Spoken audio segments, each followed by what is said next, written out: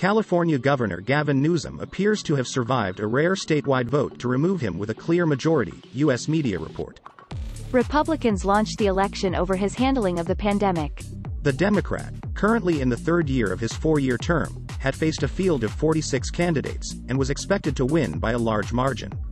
Both President Joe Biden and Vice President Kamala Harris campaigned with Mr. Newsom ahead of the contest. The BBC's U.S. partner CBS projects that the governor will prevail, with about two-thirds of voters backing him and more than 60% of the vote tallied. I'm humbled and grateful to the millions and millions of Californians that exercise their fundamental right to vote, Mr. Newsom said in a victory speech in Sacramento. The outcome has been closely watched as a bellwether for national 2022 elections.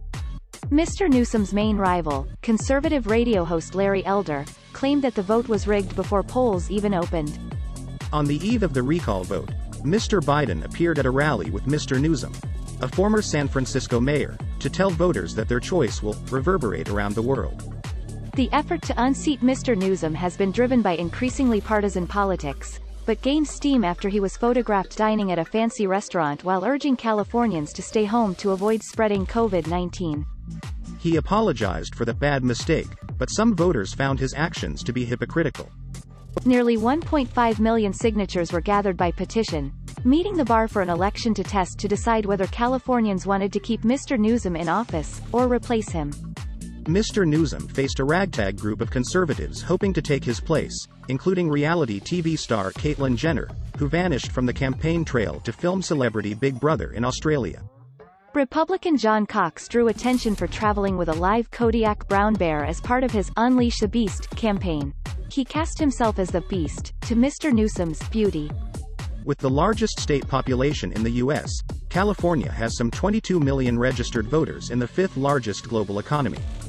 The Golden State has been firmly Democratic in national elections, but the state does have large Republican regions. Six million voters cast ballots for Donald Trump in 2020, leaving Mr. Biden with a 29-point victory in the state.